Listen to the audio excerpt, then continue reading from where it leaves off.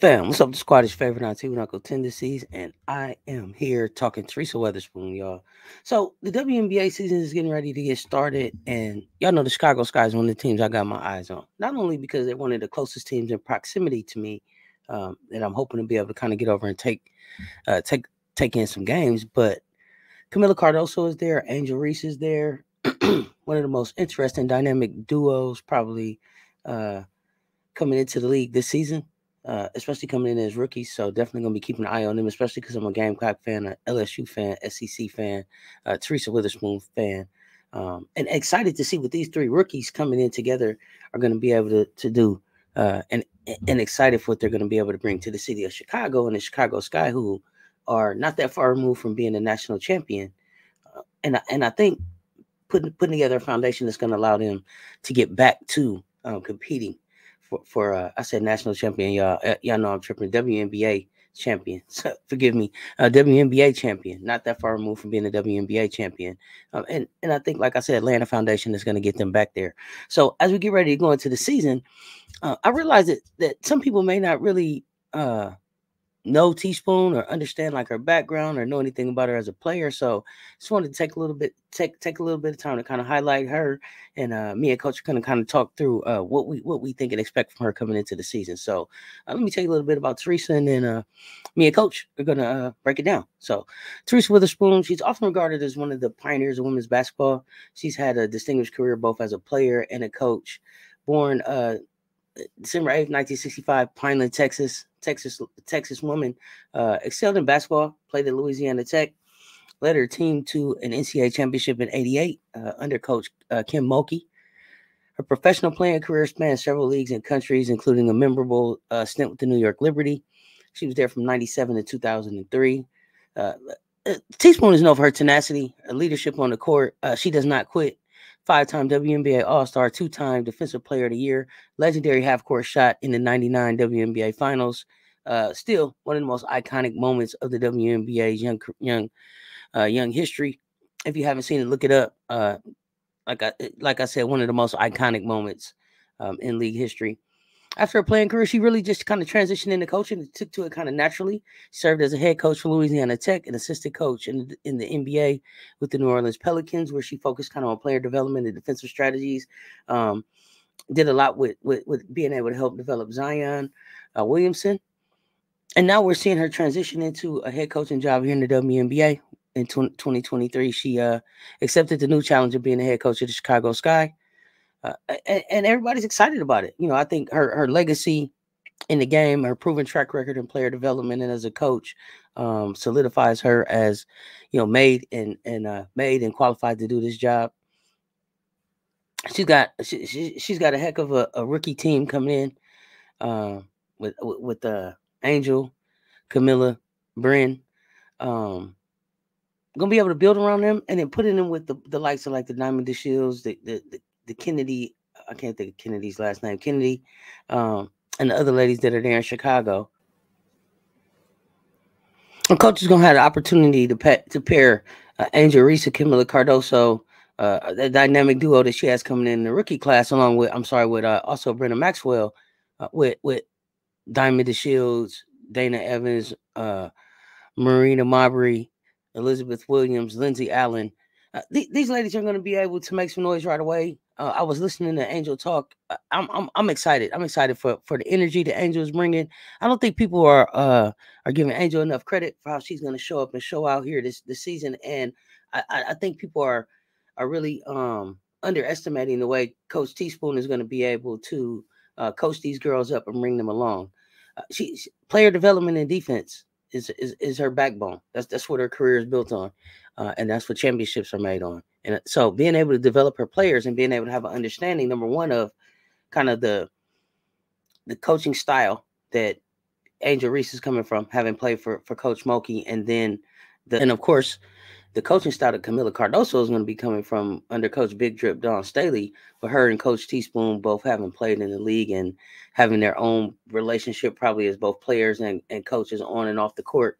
Um, I'm sure that she'll be able to relate to them and bring them along and understand the type of background that they're coming from and, and the work ethic and what was expected of them and being able to coach them up into uh, WNBA caliber players from the platforms that they're that they're bringing.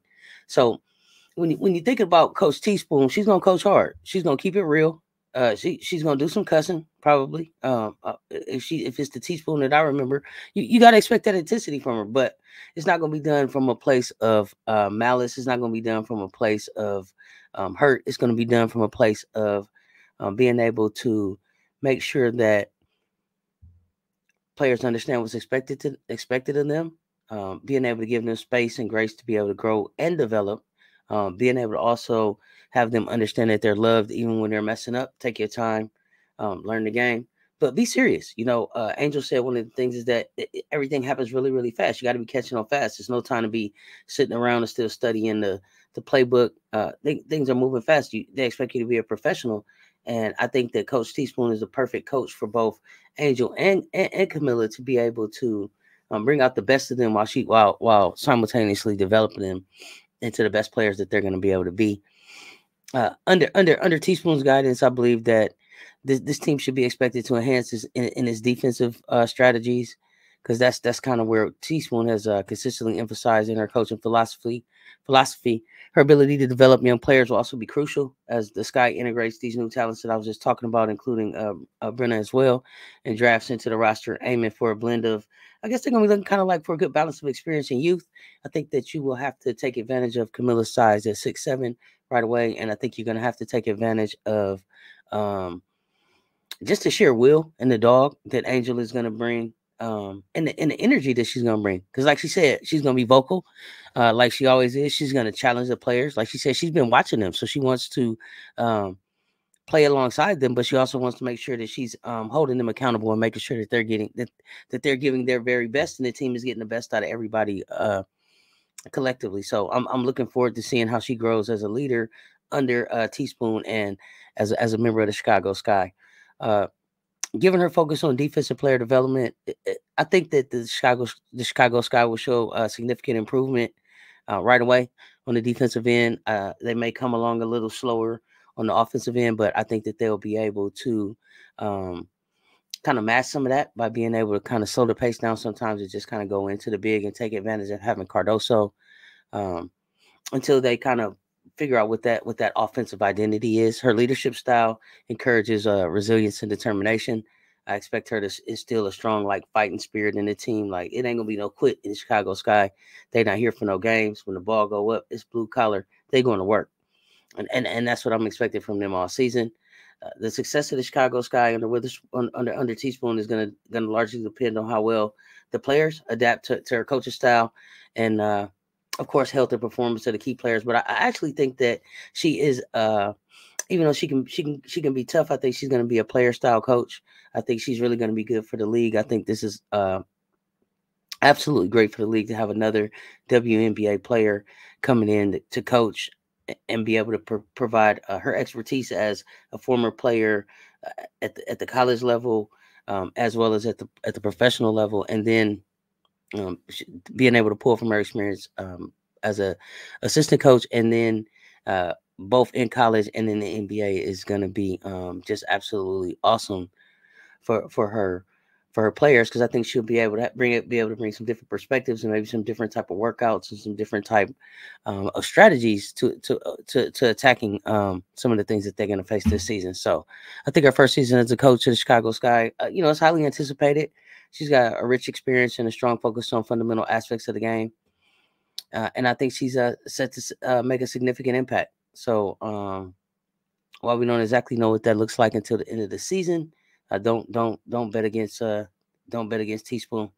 I think her leadership just in itself promises a, a revitalized and more competitive Chicago Sky. So I'm on the lookout for that. And with that, I'm gonna go ahead and uh, jump over here with Coach, and we're gonna uh, kind of chop it up and go back and forth about kind of what we think about uh, Coach T-Spoon being added as the as the coach. Coach, we we got we got uh got Chicago Sky, got Chicago Sky, and uh, I don't know if you saw, but I had to have a had to send a love letter to the WNBA about some of the stuff that I've been seeing. I mean, mm-hmm. you know, uh, you, you you went to school with with with, with uh, Nina Ross, and yes, she she taught me about background. And I, you know, I, I, wasn't always interested in the background, but a lot of people looking in the background, and, and and it's a lot of eyes on the WNBA right now, and it's it's important that they that, that, that, that they capture this lightning in a bottle. It's Mhm. not gonna come like this again. And if they fumble this, I'm afraid that the talent coming behind them may not trust them. Mhm. They may not they may not trust them with this. Um so as we start to look at at the season, we got we got Coach T-Spoon, who's a rookie rookie WNBA coach. Um and I just wanted to talk about her a little bit with you, coach, and, and kind of see what you what you think. So she's coming as the new head coach of the w, uh, uh, WNBA Chicago Sky. Uh, she posted a 99 to 71 record as the head coach at Louisiana Tech. Okay, now her first coaching position was in 2007. She was head coach at Westchester Phantoms of the American Basketball Association, the ABA, Westchester Phantoms. Mhm. Um,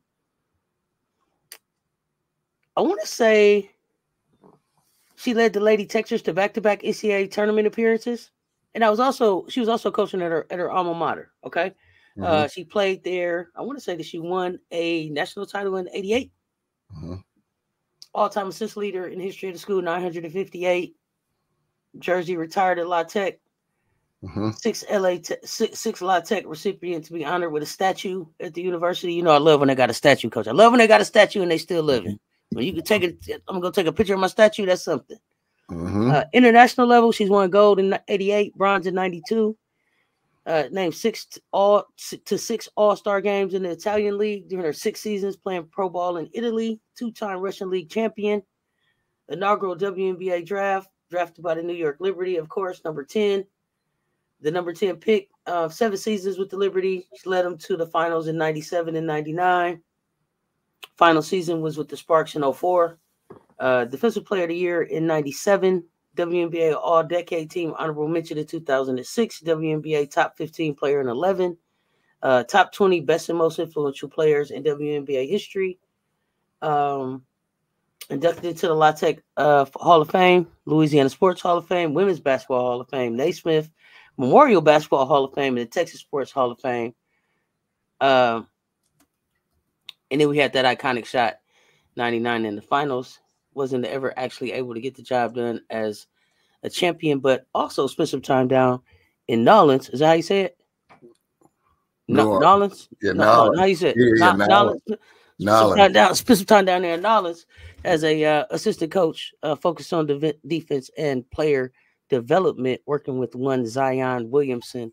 Uh, and I think, I think that when Zion has been able to display the growth in his game, when he's been healthy enough to display the growth in his game, uh, you can definitely see um, the help that she's been able to give him and the impact she's been able to have on his development uh, from a defensive standpoint and just as a player. Um, so I'm, I'm I'm I'm excited about T-Spoon in, in, in Chicago, Coach. Uh, I don't think that I don't think that there's a better coach for uh, both Kamilla and, and and Angel to uh, to come into the league and play with.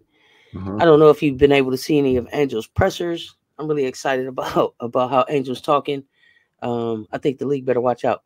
Um, Mhm. I have now. I don't know. I, I don't. uh, We haven't talked, but Angel is now in in my in my category. One of those that could be rookie of the year if they let her on the floor enough. Um, Angel's Angel's um her attitude and her energy is everything that I expected it to be, but Mhm. but I don't think that she's getting enough credit um, right now for how she's showing up and being a professional. Mhm. Uh, people are quick to call out uh, the stuff that they don't think that she's doing when I think that she's just being a regular 21 year old with a million dollars. Uh, you know, she catches a lot of flack. She just got her own signature shoe. Uh, shout out Reebok and, and Shaquille O'Neal and, and, and Allen Iverson. Um, of course, they weren't able to offer anything as big as what what Caitlin was able, able to get. Um, but the fact that she has a signature shoe that's going to be out there, I think, is a wonderful thing. And I think that that's the stuff that we need to focus on, other than uh, measuring people's checkbooks Mhm. or comparing people's checkbooks. Uh, it's it's a win for the league to to be able to get any of this stuff out there. So I- I'm excited about what T. T-Spoon's going to be able to do. The relentlessness that she showed on the floor as a player, um, because she's coming in with a, a defensive and a and a player development background. That's exactly what the team needs. This is a team that this is a, a an organization that's um, not far removed from being a, having been a champion. Um, and I think that there's still some pedigree there. So Um, I think they're looking to build off that. But where do you see him going, coach? Um, I'm glad you said that because that's where I was going with it as far as uh T-Spoon. Um, I think that I've never seen T-Spoon so focused in all of her interviews. Um, she looks very serious, and not to the point of serious where she's not able to have fun, but she looks locked in and loaded and ready to go. Now, you mentioned something about the tenacity. If her personality is going to have a handprint on this team, when you're talking about Cardoso and Reese, do you realize how scrappy and gritty this team is going to be? The 50 50 balls, rebounding, just uh, throwing their bodies on the floor. Because one thing about T-Spoon, she spent half of the game on the floor diving for loose balls, making that extra effort. It's gonna be like this. Come on, Uncle Scooby, let me at him. Let me at him. Let yeah. me at him. Let me at him. Like Scrappy um, Doo. You hear me? It's gonna be like um, Scrappy Doo. I see them having some real tough learning lessons as far as like how to mesh together. That's gonna be to me the biggest piece. Um, T-Spoon can teach them all of the fundamentals, all of the bases, but as far as like meshing on the floor, that's going to be the the challenge I think for for the rookies, meaning Cardoso and Reese. Oh, um, see, I don't think so. I don't mm-hmm. think so. So Reese came in and said, "So I don't know if you saw the presser. I don't know if you saw the presser. This is what this is what Reese said. Set me up in my chair. This is what she mm-hmm. said. She said, "I want to win." Mm-hmm. She said, Yeah, I'm a rookie, but I let them know. Yes, I'm a rookie, but I'm here to win. Yes, I'm a rookie, but I'm going to push you. Yes, I'm a rookie, but I'm going to be vocal. Yes, I've been watching y'all play. So I want mm-hmm. the very best out of y'all. I'm here to win. Pour into me. I'm here to learn, but I'm not going to stop being who I am.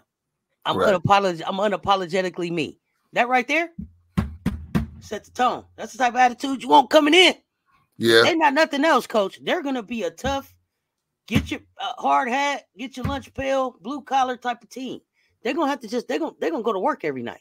Well, and like I said, three three teams are gonna be their nemesis. Three starting out, which is gonna be Connecticut, New York, and Indiana. Those are the games that are gonna be, you know, those are those East Coast games that are gonna have them, you know, kind of those are going to be the games to watch. That's going to be to me the the litmus test to see where are they as far as like a team in my opinion. Um, well, how do you think about them being ranked? Aren't they ranked number 12? Mm-hmm. How disrespectful. Is it disrespectful? Though? I mean, they haven't played. The, the, the Washington Mystics are better than them? No.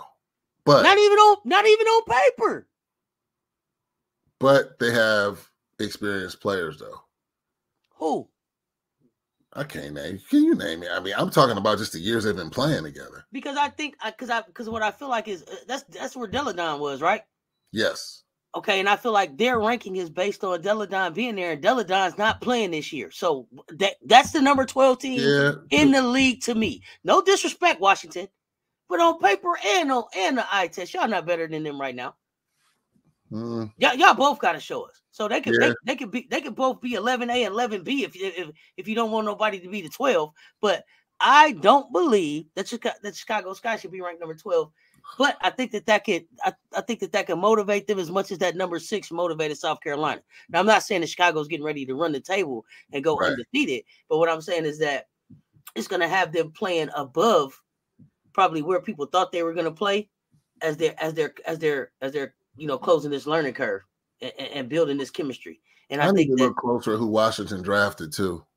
And I think um it was whoever went before Angel. And if you heard what she said, she was like, "Oh, I might go to, I might could go to the crib. I might could go to the crib." And then she said Washington pick somebody else, and she was like, "Oh, I'm cool." She didn't want to go home. she didn't want to go home. She said, "I didn't want to go home. I wanted to come to Chicago. I wanted to play for T-Spoon." So she where she wanted to be. And and and I, and I think we we we finna find out. I think we finna find out really we should really find out who's made of what, because that's toughness there. You can't teach toughness, and you can't teach six seven. Well, yeah, now, one thing they said that well, they have the size, and we know, um, you know, I'm a huge Angel Reese fan. Even though Angel Reese is listed at, I think they listed her at six three. She's probably about six two on a, you know, on an average day, but she plays like she's six five. She plays way bigger than than she's listed as. So mm-hmm. they're gonna have a twin tower effect, which I still fully expect Reese to come off the bench initially, but to get starters minutes. But towards the end of I the season, I think they're calling them the, the, the Sears Towers. Oh, that's nice. The I like Sears that. Towers. But but you know what's interesting to me? Um, What's that? when you look at the Comets roster next to the Skies roster, it's real interesting with Spoon being in place now. Spoon, uh, I'm not, you know, you can't recreate a dynasty like that, but the Comets had, you know, I mean, the, the legends, you know, they had Swoopes, they had Tina Thompson, Mhm, they had uh, Arcain, uh, they had Cooper. mhm. Um, when you look at their team, you know, you can see Cardoso, you know, Mhm. Reese. Um, wait a minute, I had the roster up just a few seconds ago. Where we at? Got Diamond They they got they got they got yeah yeah yeah and um oh I'm sorry I put a few yeah so when you look at their roster it's almost like they might you know I see what you're doing Spoon. I see what you're doing Spoon. Spoons I think is building a traditional lineup. But Well, like well, like she said, I don't know if you saw her pressure because what Spoon said was what Spoon said was you don't have a lot of teams that have bigs that are playing back to the basket, right? And so now there's I'm my point Seth. I was literally about to say that she's building I'm a coming with- traditional yep yeah, I'm coming with the bigs with the back to the basket, and, mhm, and, and, and I'm kicking out. Um, but Exactly. but the first thing, the first thing that you're gonna have to be on a team is a is a dog, and so you know outside of Las Vegas, uh, I don't know top to bottom if there's gonna be a, a- another another team of dogs. Um, So- there there are dogs with, without throughout the league, but dogs throughout up and down. Cause see, you got to be a dog in their practice. Cause Angels talking, Kamilla ain't backing down. She's No, she talking, not. yeah right? not. Diamond DeShield's not back now. If the rookies is talking, everybody got to get to talking, right? Mhm, So mhm. that's why I don't think it's gonna take a long time uh for the chemistry to build because that thing is gonna get to uh whatever it's gonna blow up to, right? Because you go through your you you you, know, okay, what you storming, norming, whatever it go, come on, you know, the Right, levels right. of uh, the Storm- levels of, uh, uh, uh, uh, yeah. of team building, right? They gonna get through them things real real quick with the with the with the trash talk that's Mhm. going on in practice, right? So they're gonna get to the uh come on, man, let's go get something to eat uh quickly. You understand, right? You know, yeah. because contrary to what everybody believe, you know, it, T-Spoon is the HNIC over there, right? So That's right. contrary to what everybody believe, right? Let's come on, let's go get something to eat then. right. So that thing is gonna come together. That thing gonna Yeah. come together because they're not gonna be nothing but real with each other. It ain't gonna be no beating around the bush there. hmm Yeah. Now it, it, it may be, you know, you may have to you, you, you- your armor may get a little tinged at first. You may have to you may have to toughen your skin up a little bit to Mhm. be in Chicago. But I mean, it get cold anyway, get bitter, toughen your skin up anyway. Uh, but I think that they're gonna that you're you're either gonna make it or you're gonna ask for out of there. Yeah. And I was going ain't to gonna be no some- in between. I was going to ask you something bef- uh, again. I, I was looking at them a little bit. Uh, are you familiar with Taya Reamer? I, I- I'm not. That's the not- rookie not- that not they drafted. Yeah, I, I don't. I, I'm, I'm trying to. I don't know who that is, but she's a, a she's a rookie um, that they drafted, and there's not much information on her. It just says Taya Reamer, not even from a school or anything. So I don't. I'm like, where are you from? Uh, Like, now, now I know that some people had there was some uh some international some international dra- uh, players drafted as well. Is it possible that was an international player? I'm yeah, not sure. It has to be. Yeah, maybe she they also they also got Brynna Maxwell Mhm, right. uh, from, from, from, from from Gonzaga. from Gonzaga, Was exactly. the other was the other was the other person that I was the other player that I was going to say, and I think Yeah. um coming out of Gonzaga, I think that's a basketball school. You know, I think that I think that uh they're very aware of, of the players and the personalities that they drafted, and they drafted people that are either going to be able to, um, you know, be be be able to be able to take the criticism and be bru- brutally honest Mhm. um, without losing the love, and that's what I think it's going to be about. You know, I think that it's going to be it's going to be a place where uh, you you you can make the mistake um, and, and still be on the team, but but like Angel said, it's moving fast, and you know you, you can make a mistake a couple times, but like you don't have time to be sitting down to read the playbook. Now you got to you got to know what's going on. Mhm. You got to be focused. So Yeah. And then, and Uh, looking at one other thing about their roster, when I was talking about that comments next to the sky, we know about the five starters. Well, let's say the seven great players on that Comets team, that historical Comets team. But let's not forget the Comets went about 10 deep. It was a team effort. I see some of the similar things with the Sky. They have a deep, they're going to have a deep roster. Spoon is all about that. I think Mhm. what, what Spoon brings to this team is showing them how to be professionals. What Spoon brings to this team is showing them how to preserve and conserve energy. What Spoon also said in the part of the press conference that you mentioned that I didn't see about bringing the bigs to the game. So the only the only barrier they could run into is, I mean, it's an oxymoron to say when you run into one of those teams that's just lighting you up from three, that might be a problem. But that'd be a problem for anybody. Um, I think they're going to be an opportunistic running team, but they're going to focus on you got to play our style. I don't see them scoring more than 70 something points a game. They're going to have a, a, a, beat you down type of game where they back you down, slow it up, mm-hmm. hold you. They're going to play defense, defense, defense. Like you said, their sessions are going to be so heated. Defense is how you get on the floor with Spoon. That's just the bottom line. If you're not playing defense, you're not going to play for her. That's oh, absolutely. absolutely. So, yeah, I'm excited. I'm excited to see that. Um, as far as with the Washington, I hear you just saying, I see your point, but I still need to see Chicago play some games. I'm not saying oh, yeah. That, they're, better than them, but those rankings will change real soon. and, and not and and, and it, you know, this is the other thing that I was going to say about about this team that, that's really interesting is uh, who are they? You know, and that's not a knock against them, but who are they? There's not a, a real big name there. No, the biggest not. names are probably the two rookies.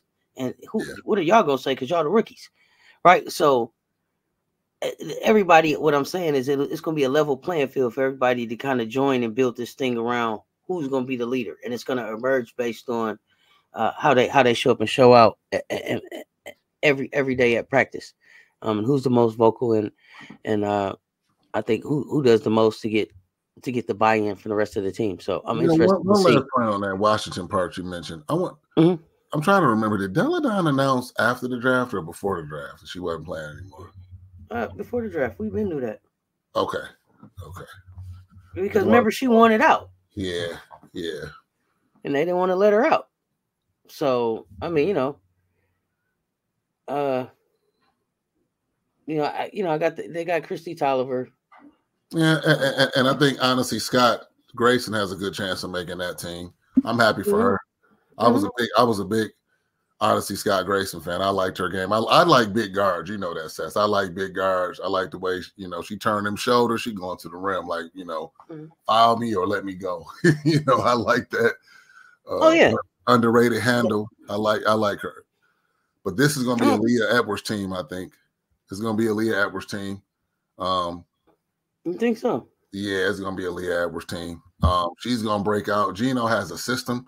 I think Leah Edwards is going to see uh, in the league like, wait a minute, I can I have this much freedom to do this, you know, uh, hmm. unless they double her, but we'll see, we'll see.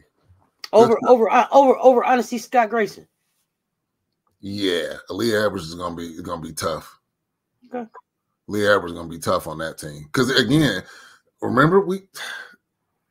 This is not planned, you all. It's not scripted we talked about this. We said the changing of the garb in the league or show way back.